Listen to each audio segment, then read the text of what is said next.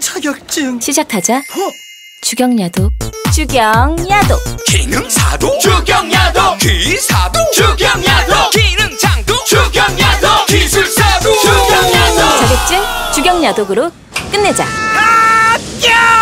이게 뭐라고? 안녕하세요. 자, 산업위생 관리 기술사에 대한 전반적인 오리엔테이션을 맡을 서영민이라고 합니다. 아마 그 산업위생 관리 기사, 산업 기사, 즉 성한당 교재 갖고 어, 취득을 하신 분들은 아마 초면이 아닌 것 같아요. 네, 다시 한번 반갑다고 말씀을 드리겠고요.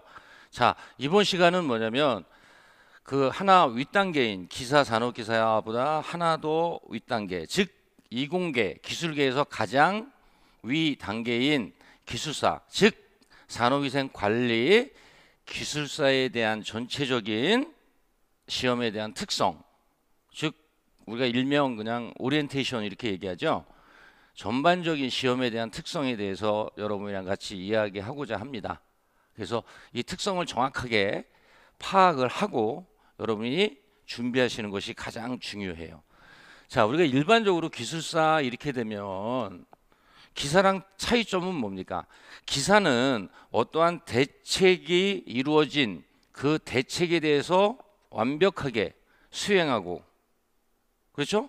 그거에 대한 결론을 얻어내면 되는 거고 그러니까 쉽게 얘기해서 어떤 대책안이 나오게 되면 그거를 성실히 완벽하게 수행하는 그런 개념이 우리가 기사의 직무라고 볼 수 있고 그 다음에 기술사라는 얘기는 뭐냐면 어떤 문제가 생겼을 때 그거에 대한 원인을 찾아내고 그 다음에 그 원인에 대한 이론 즉 우리가 일명, 일명 뭐라 그러죠? 어떤 메커니즘이라고 얘기하지? 어, 메커니즘을 밝혀내고 그 다음에 그 원인에 대한 피해 영향 그렇죠? 음. 그 다음에 그 원인에 대한 또 뭐죠? 어떤 대책을 세울 수 있는 그러한 직무를 수행하고 더불어 또 뭐죠?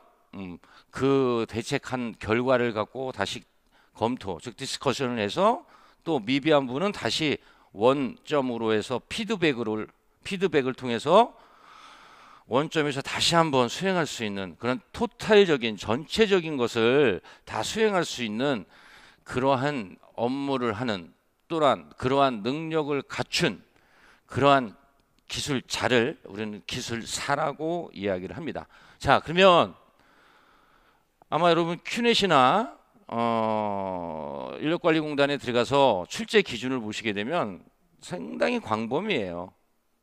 그래서 출제 범위가 기사 같은 경우는 대, 중, 소 해 갖고 디테일하게 이렇게 쭉 나와 있지만 기술사에 대한 출제 기준은 아주 뚝 뭉툭그려갖고 큰 개념으로 나온다고. 그 얘기는 뭐냐면 범위가 없다는 얘기지.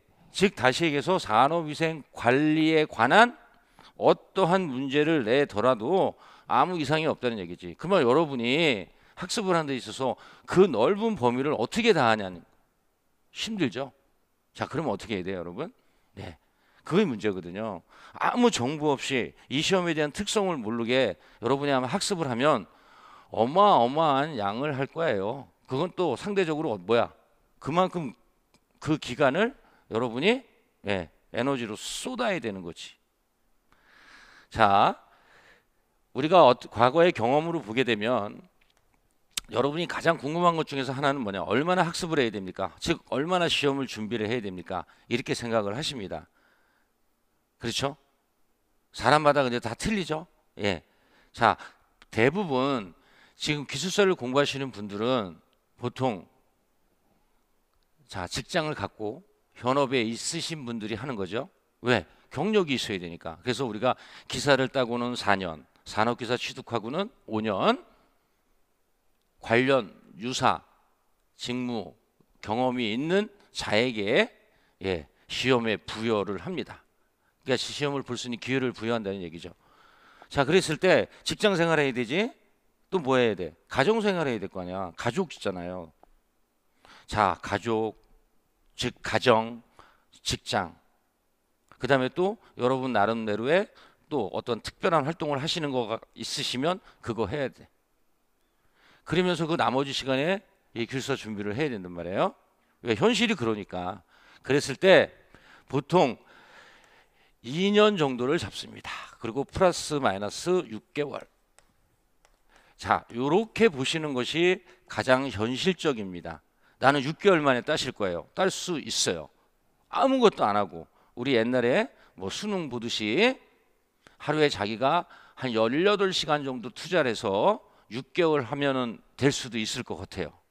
그렇지 않은 한 현실적으로 우리가 우리 생활을 하면서 이 정도는 우리가 소요된다는 거 일단 여러분이 이 개념을 좀 갖고 계셔야 돼요. 왜 그러냐면 너무 급하게 생각하고 너무 목표를 빨리 잡아버리면 자기가 실패를 거듭할 때마다 그 목표가 변해. 그 나중에는 결국은 뭐냐면 자포자기가 되고 시간이 더 걸릴 수가 있단 말이야.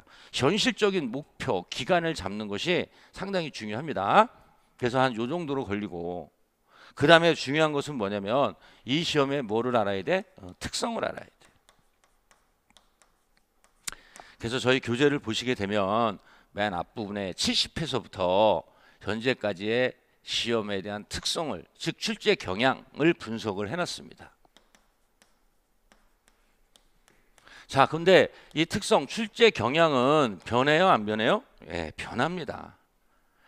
70회에서부터 한 90회 때까지 또 90회에서부터 100회, 100회에서 110회, 또 110회 이후에 출제 경향은 변하고 있습니다. 그러면 그 변화에 빠르게 대체해야지 여러분이 학습회에 대한 양도 줄어드는 거고 그 다음에 이 기간도 더 당길 수가 있습니다. 그래서 정확한 출제 특성을 파악하는 것이 상당히 중요하고요. 그 다음에 세 번째로 뭐냐면 뭐가 또 중요하냐면 자 서브 노트입니다. 서브노트. 자, 이 서브노트 같은 경우는요. 음, 우리 일단은 서브노트라는 얘기는 뭐냐면 어떤 분들은 자, 교재를 하나를 의존을 해서 그것만 달달달달달달 외웁니다. 근데 아니에요, 여러분. 여러분이 여러분만 이렇게 달달달 외우는 게 아니지.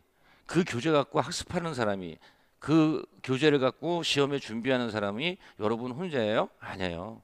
여러분 외에 다른 분들도 많으십니다. 그러면 그 구성이나 답안 구성이 똑같이 나올 수가 있다고. 그렇기 때문에 여러분이 서브를 하셔야 돼요. 그러면 서브 같은 경우는 자 가능한 한 뭐예요? 큐넷에서 여러분 들어가게 되면 기술사 답안지 양식이 있어요. 기술사 답안지 양식에 맞추어서 서브 노트를 하는 것이 중요하고요. 자, 서브 노트는 아주 간략하고 전체적인 개념이 나와 있는 그런 형태로 해야 돼요. 그래서 답안 쓰는 요령 이런 거는 지금 우리가 OT 할 때 할 수 있는 그런 건 아니고 본 강의를 들어가게 되면 우리가 답안 쓰는 방법서부터 해갖고 틈틈이 여러분한테 말씀을 좀 드리려고 합니다. 그래서 그 서브 노트에 작성이 돼야지만 여러분이 이 서브 노트라는 거가 그냥 의무적으로 하는 거가 아니고 여러분의 학습량을 여러분이 스스로 조절할 수 있고 자기가 어느 정도를 이해하고 있는지에 대한 표현이라고 생각하면 되는 거야. 그래서 각 파트마다 우리 강의할 때 각 파트마다 여러분한테 이건 10점짜리로 또는 이거는 25점짜리로 또는 어떤 파트는 10점으로 낼 수도 있고 25점으로 낼 수도 있단 말이야. 그거에 대해서는 제가 여러분한테 예, 제시를 할 겁니다. 그래서 반드시 서브, 서브 노트를 만드시면서 학습을 해가는 거 꼭 기억해 주시기 바랍니다. 그래서 이제 가장 기본적인 세 가지에 대해서 이야기를 할 거고 지금서부터는 조금 더 구체적으로 이야기를 하는 걸로 하겠습니다.